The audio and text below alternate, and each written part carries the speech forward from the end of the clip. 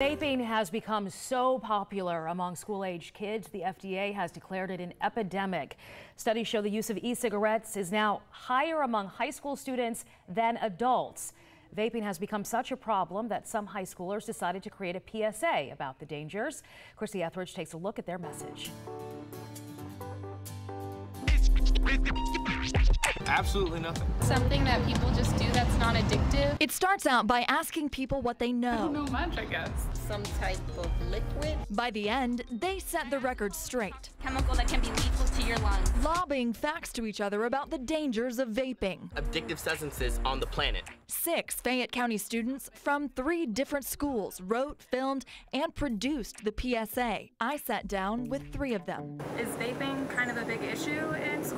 Yeah, it's um, it's actually getting a really big problem. Kids are doing it a lot, especially in bathrooms. They're doing it to the point where at personally in my school they had to lock a bathroom, two bathrooms because uh, kids were doing it so bad enough that they couldn't stop it. They're doing, they're even getting bold enough to do it in class while the teacher's in the room. That is bold. Yeah.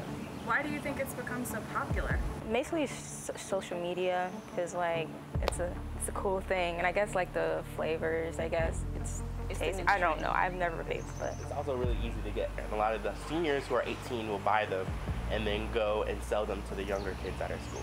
Nearly 21% of high school students vaped last year. That's about 3 million nationwide. Even middle schoolers are getting in on the trend, about 5% according to the CDC. Would you say this is one of the biggest issues facing students your age? I feel like it's it's a new issue, so it's something that we want to catch before it gets to the point where it's something that we can't really like handle, like weed, for example. You can turn them on and off, so that's why a lot of them, if they're off, you can't smell it.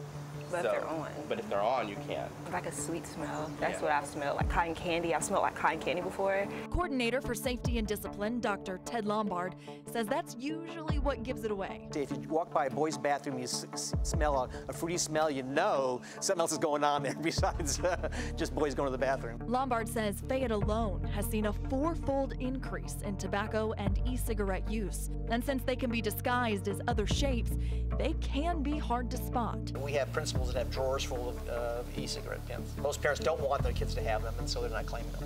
They're adding these new posters in the halls for the upcoming school year. I've heard from many people that it's safe, it's safe, it's not bad, it's way better than a cigarette. Da, da, da. So people aren't really like aware that it, it it has like addictive substances in it. Well, some schools are finding more than the chemicals and nicotine inside. They're also finding THC and LSD. If a child is caught with a vape pen at school, Dr. Lombard says most times it's just a warning unless it becomes a repeat offense.